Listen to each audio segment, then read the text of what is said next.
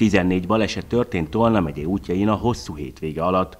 Az autókban ülők közül négy esetnél voltak sérültek is, tíz helyszínen csak anyagi kár miatt kellett intézkedniük a rendőröknek. A víztől néhány centiméterre az oldalára borul vált meg ez az autó Kölesnél, miután átszakította a szalagkorlátot, és nagyjából 10 méter zuhant. Ez volt az egyik legsúlyosabb baleset. A hölgy szerencsésen úszta meg a balesetet, ugyan 8 napon túlgyógyuló sérüléseket szenvedett, de egy ilyen jellegű balesetnél akár halállal is záródhatott volna a baleset.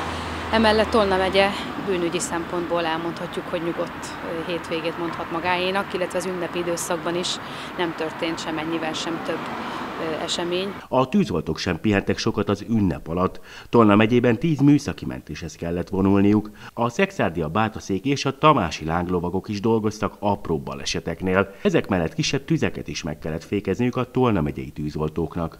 A három tűzesetből kettő kéménytűz volt, itt a lerakódott koromizzott be. Szerencsére egyik esetben sem lett nagyobb baj, lakosságvédelmi intézkedésre nem került sor. A hatóságok szakértői arra számítanak, hogy a balesetek száma a két ünnep között emelkedni fog, mert karácsony múltával sokan ülnek majd autóba azok közül, akik csak az ünnep idejére érkeztek haza vagy szeretteikhez.